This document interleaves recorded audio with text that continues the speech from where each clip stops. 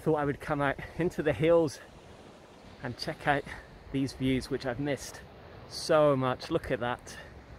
Absolutely incredible. And then if I just spin around this way, one of the most well-known landmarks in Timor-Leste. This is the Cristo Rei statue. Got plenty of videos of me walking up to the statue, a very popular spot for exercising. But yeah, this is one of my favorite spots right here.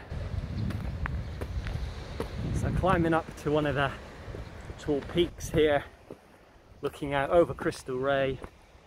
And then this beach down behind me here is known as Back Beach as it sits just behind the Cristo Rei statue. Beautiful beach and uh, accessible either by the steps on foot. You take a long route around over Horta Hill and then around, let me spin around, around this point here and you can cycle or drive around that way. But uh, yeah, cracking spot. But uh, we're just going to climb up here and check out what the view's like.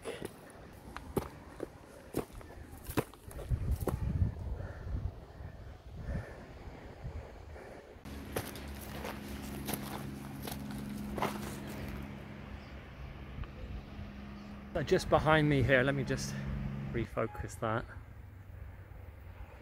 This is the uh, leftover from the landslide that happened during Easter. Huge landslide here, which goes down all the way down to the steps that lead up to Cristo Rei. So uh, yeah, it was shut off for a little while, a few weeks I think at least.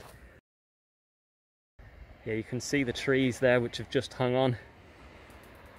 So I'm not really going to hang around too long. Let's get across. Here we go, landslide number two, just on the same slope. Look at that up there, there's a tower, I'm assuming communications tower. So just up here, this is the peak I was on earlier on, but I just skirted around rather than going up and over, which I'm pretty sure you can do, but thought I didn't need to risk that on my first outing for a while. And look at that. So we've pretty much been in lockdown here in Dili, Timor-Leste for the past couple of months. It's been a long, rough, hard slog at times. Just uh, not knowing, you know, what the, the future holds. But um, yeah, feels good to get out. And this is what I've missed, just getting out into nature, fresh air, checking out views like this. And look at this peak behind me. Look at the size of that, amazing. But uh, yeah, so definitely more more experiences like this going forward and like I say, touch wood, the lockdown remains gone for now and uh, the numbers stay somewhat low as the vaccine rolls out. But uh, these past couple of years have uh, told us anything, then you really can't predict, you know, what's going to happen. So, going to make the most of this opportunity, get out, enjoy the landscape, meeting people again, socializing, and uh, yeah, just having experiences again, you know. So moving into dry season here, well definitely dry season now, although we're still getting a little bit of rain, but you can see the grass is browning off, less and less green, more and more gold.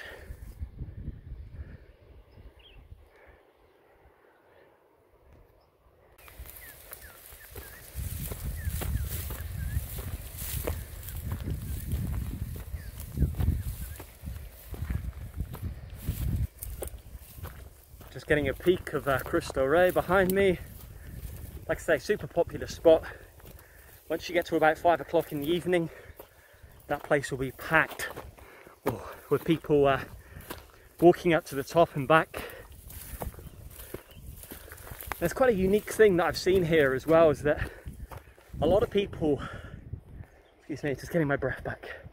Quite a unique habit here as well for a lot of people that are exercising where full length trousers and then raincoats with the hoods up and the mask and pretty much you can't see any skin. And I was talking to a Team Timorese friend of mine who was explaining that it's uh, so that you sweat, you sweat more, which you certainly would in this climate. wearing top to tail, yeah, long trousers and a, a raincoat with the hood up, and uh, you lose more weight. So uh, yeah, I'm not sure that I'll personally be taking up that that habit, but uh, you see heaps and heaps of people doing it, which is fair play, you know, it's uh, no easy feat in this heat. Good rhyme there as well. So whilst taking a little break here, I thought I'd just talk about the island that I'm looking out on at the moment, which is Atauro Island. So haven't actually been back there since being back this year is a bit of an unusual time obviously with uh, getting back into country COVID free and then COVID starting up and lockdown starting so obviously travel was prohibited and uh, yeah plans had to change. But I'm uh, definitely hoping now with the lockdown lifted to get back over to the island. A beautiful spot and beautiful accommodation that you can stay on right by the beach. Lots of snorkeling right off the beach and uh, diving as well. Very relaxed place so uh, if you're coming to Timor-Leste or you live in Timor-Leste and you haven't been over to the island Atauro Island definitely recommend booking a trip enjoy a bit of ocean time a bit of snorkeling my partner dives so she'll be keen as to get over there as well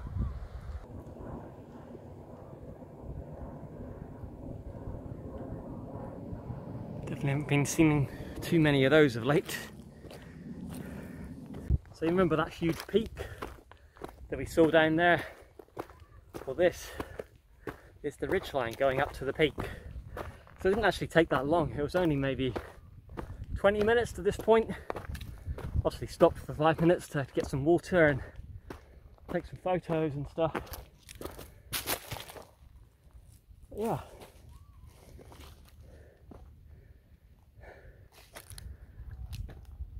what a great spot. Lots of birds as well, which is nice to see. Don't hear too many of those in the city. You can hear the ocean still, hear the waves. Doesn't get much better than that, does it?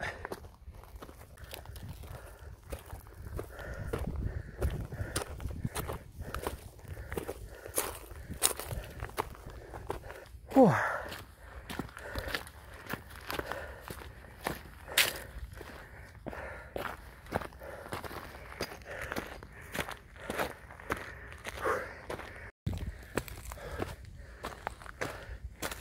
There we go, there's the comms tower, I'm guessing. It's a comms tower.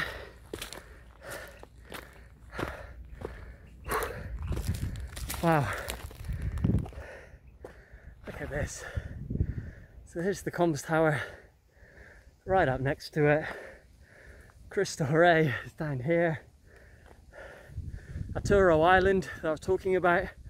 Here's Back Beach. Oh, look at that. Just in the background here you can see Metial. And then we keep going around. Here's Dili, here's the city.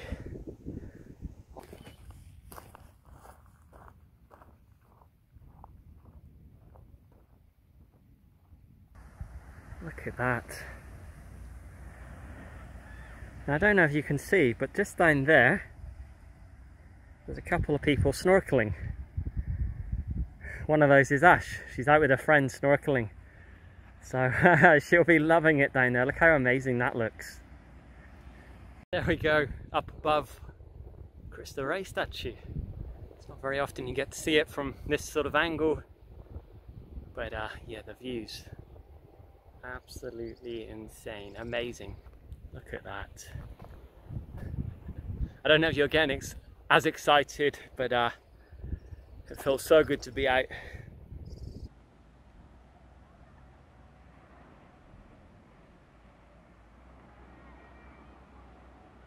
Always a sign that you've enjoyed the walk when you run out of space on your memory card. So just put a fresh one in. And uh, yeah, continuing on. Almost back at the Cristo Rei statue. The whole walk's probably only taken 45 minutes realistically. If you add in the stops, there's probably another 45 minutes. So uh, yeah, an hour and a half all up. So any walk is a good walk at this point, and this is certainly, yeah, those views up there, certainly a, a goodie. I'll be doing a lot more often.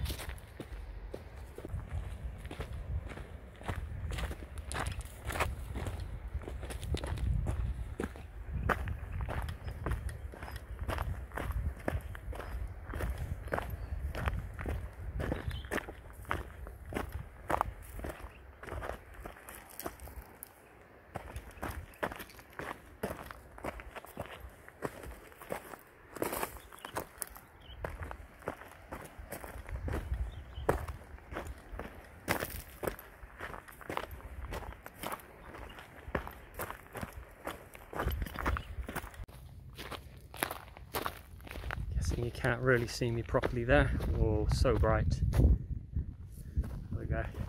So I'm gonna now head back down. I'd love to get a shot of that boat as well. Just looking amazing with the, the reef and the water looking incredible. So yeah, if I could get a drone shot above there and get a, a bird's eye view. Yeah. So we're gonna head down slowly but surely.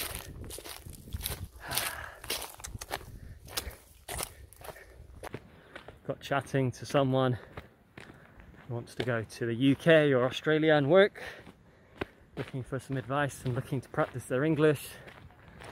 And then suddenly now it's like half past five, so yeah, figured just enjoy being out, like I say, meeting people, enjoy a bit of ocean time, and head on back. So now I'm going to climb back over the steps of Cristo Rei, hop on the bicycle, and uh, head on back. If you enjoyed the video, I certainly did. It was great to get out. Hit the like button. If you haven't already, hit subscribe. And hopefully there'll be lots more of these outside adventures coming soon.